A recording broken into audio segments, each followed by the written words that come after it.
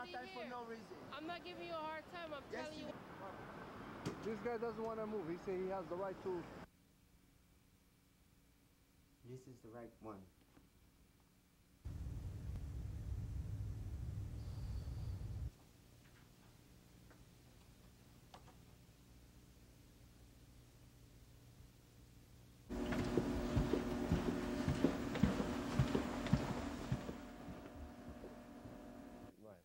Um, we chose President Bush as Person of the Year because uh, he took great risks in the way he ran for office against great challenges, and he prevailed. Um, he ran uh, uh, without regard for uh, sweet-talking the swing voter, uh, running toward the middle. He didn't do that this time, as so many presidents have done.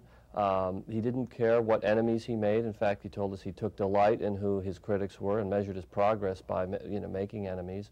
And he, um, he also ran as an outsider, in other words, uh, against the status quo, as an agent of change, and succeeded.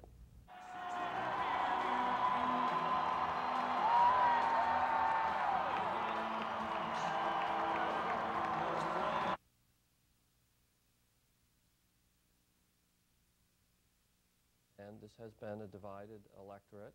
Um, uh, he is a bold leader. Uh, he is uh, taking the country in places uh, that uh, no one would have expected, and he is taking uh, great risks in doing so. He um, did this in an election in which he was facing unusual challenges in the sense of his own favorable favorability ratings, his the war in Iraq, which is a messy proposition, and uh, also record deficits. Uh, he could have played by the rules, but he um, broke some of the usual political rules and took chances and uh, prevailed.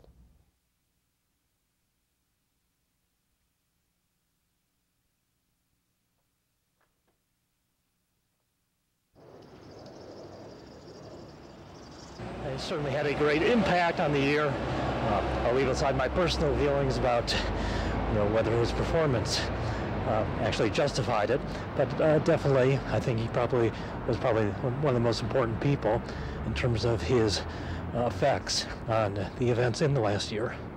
Well, personally, I think it's a little ridiculous, but um, you know that's another matter.